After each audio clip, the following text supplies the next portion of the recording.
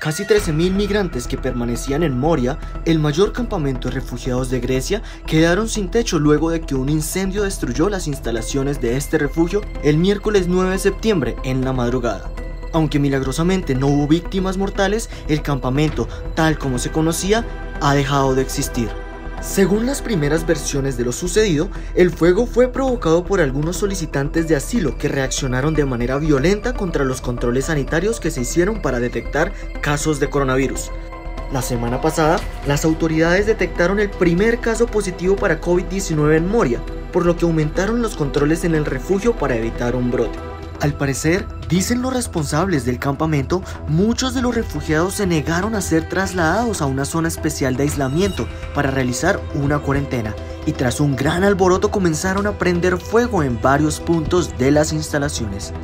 Reconozco que las condiciones son difíciles, pero no pueden justificar reacciones violentas a controles sanitarios, tampoco disturbios de esta envergadura, destacó el primer ministro griego Kyriakos Mitsotakis en un mensaje televisado en el que recordó que la gestión de la crisis migratoria es un problema europeo y no solo de Grecia.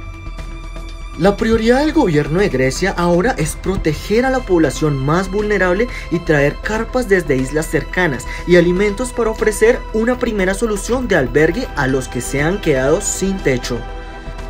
Varios países y organizaciones internacionales se han pronunciado sobre la crisis y han solicitado una respuesta pronta y oportuna. Alemania le ha solicitado al bloque europeo que actúe ya y sugirió que los países miembros de la Unión Europea se repartan equitativamente la acogida a los migrantes del campamento Moria para evitar una catástrofe humanitaria mayor.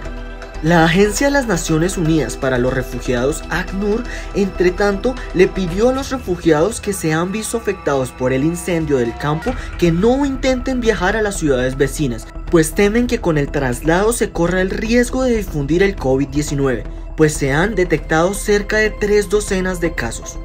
Urgimos a todos que ejerzan la contención y pedimos a todos los que estaban en el centro, que estaba bajo cuarentena después de que 35 personas dieran positivo por COVID, se restrinjan sus movimientos y permanezcan cerca del campo, mientras se encuentra una solución temporal para darles techo, señaló ACNUR en un comunicado.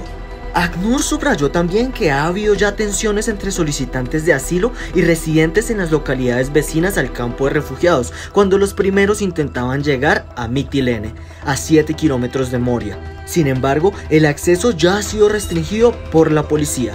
Varias ONG han insistido en la necesidad de trasladar a todas las personas al continente, a instalaciones adecuadas y humanas, y han urgido a la Unión Europea a cambiar radicalmente su política migratoria y poner de una vez por todas en práctica un plan de reubicación en los Estados miembros.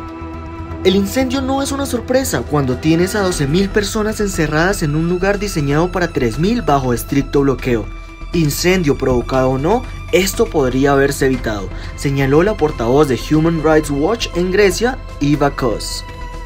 Mientras esperan a sus nuevos y precarios alojamientos provisionales, miles de migrantes se pasearon sobre las cenizas en busca de algo que recuperar de los escombros, sin nadie que les haya prohibido entrar en un recinto que todavía no es seguro.